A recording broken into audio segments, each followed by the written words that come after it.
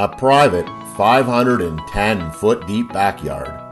Welcome to 77 Garson Coniston Road. Here you will find three sheds to store all your toys, pathways that lead to blueberry bushes, Mother Nature, and hiking. Great area to use your imagination and create your own oasis on the hill. You will find birds singing at your back door. The home is very close to all Garson shopping, schools, minutes to the airport, bypass, and leading to different ends of the city. This home was built in 1996.